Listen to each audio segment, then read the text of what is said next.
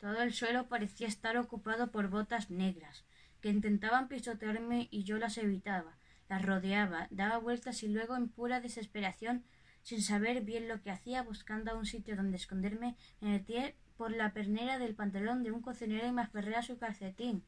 ¡Ah! gritó el cocinero. Se, se me ha, se ha metido por mi pantalón. Estaros quietos, esta vez lo atraparé. El hombre se daba palmadas en la pierna y ahora sí que me iba a aplastar, si yo no huía rápidamente. Solo podía ir en una dirección, hacia arriba. Clavé mis garras en la, la peluda pierna y trepé por ella, cada vez más arriba, subiendo por la pantorrilla y la rodilla hasta el muslo.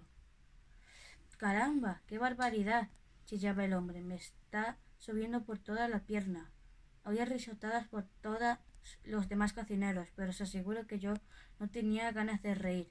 Yo corría para salvarlo y las manos del hombre seguían dando fuertes palmadas muy cerca de mí y él no, y él no paraba de, de saltar, como si estuviese pisando ascuas.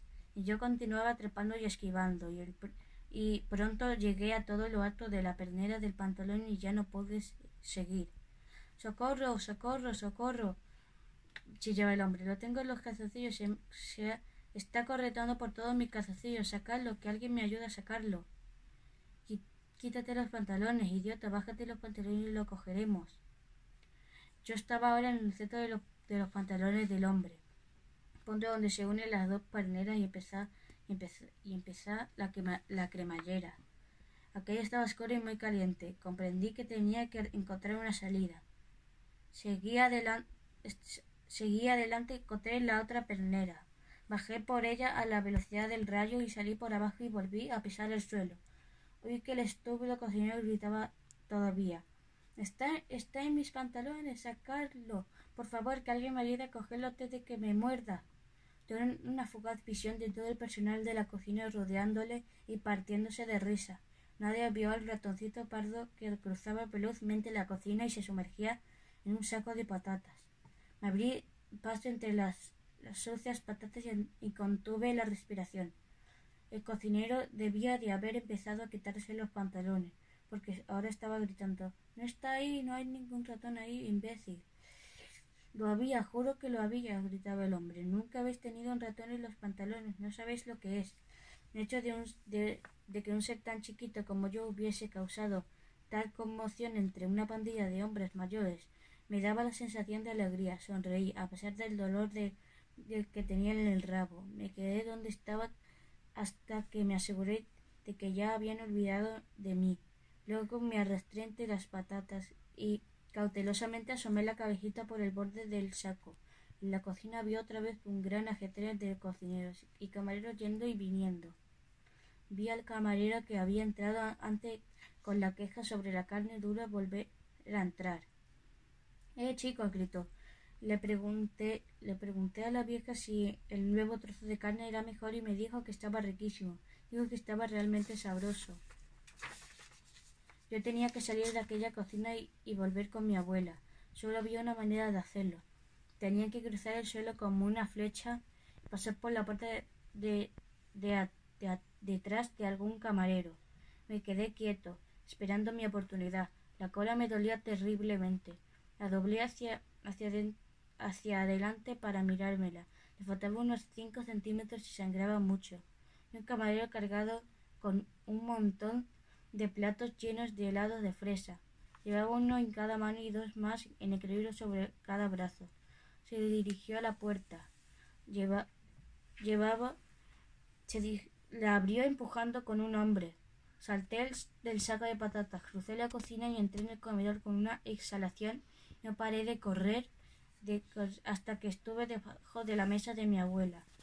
Era maravilloso volver a ver los pies de mi abuela con sus anticuados zapatos negros con, con trabill, trabillas y botones. Trepé por una de sus piernas y aterricé en su regazo. Hola, abuela, murmuré. Ya estoy aquí, lo conseguí, lo eché todo en ese puré. Sus manos bajó y su mano bajó y me acarició. Bien hecho, cariño, murmuró ella. Magnífico, en este momento se, se está tomando ese puré. De pronto retiró la mano. Estás sangrando, susurró. ¿Qué te ha pasado, cielo? Uno de los cocineros me cortó la cola con un cuchillo de cocina. Duele como un demonio. déjame verla, dijo ella. Inclinó la cabeza y me examinó la cola. Pobrecito mío, voy a vendártela con mi pañuelo, así dejará de sangrar. Sacó de su bolso un pañuelito bordeado de encaje y se la, se la arregló para envolverle la cola con él. Ahora te pondrás bien, dijo. Intenta olvidarte del dolor. ¿De verdad lograste echar todo el frasco, todo el frasco en su puré? Hasta la última gota, contesté. Que crees que podrías ponerlo, ponerme en algún sitio donde pueda verlas. Sí, contestó. Mi bolso está en tu silla vacía, a mi lado. Te meteré y puedes asomarte un poquito, siempre que tengas mucho cuidado de que no te vean. Bruno también está allí, pero no le hagas caso. Le ha dado un panecillo y, es, ese le mantendrá ocupado durante un rato. Su mano se cerró sobre mí, me alzó de su regazo y me trasladó al bolso. Hola, Bruno, dije. Este panecillo está muy bueno, dijo, sin cesar de comer, en el fondo del bolso, pero me gustaría que tuviera mantequilla. Miré por encima del cierre del bolso. Veía perfectamente a las brujas sentadas en, en las dos mesas largas en el, en el centro de la sala. Ya había terminado el puré, y los camareros estaban recogiendo los platos. Mi abuelo había encendido uno de sus asquerosos puros y estaba echando humo por todos los lados. A nuestro alrededor los veraneantes que se, que se hospedaban en ese elegante hotel charlaban y devoraban sus cenas. A mitad de ellos eran ancianos con bastón, pero también había muchas familias formadas por un marido, un esposo y varios hijos. Todo era gente de dinero, había que serlo para poder hospedarse en el hotel magnífico. Es, esa es ella, abuela, murmuré. Esa es la gran bruja. No sé, contestó mi abuela en un murmullo. Es la menudita de negro que está en la cabeza de la mesa más próxima. Ella, ella podría matarme, susurré. Podría matar a, cualquiera en este comedor con sus chispas candentes. Cuidado, dijo mi abuela en voz baja. Viene el camarero. Desaparecí dentro del bolsillo y de allí oí a William decir su cordero, señora, ¿qué verdura prefiere, guisante o zanahorias?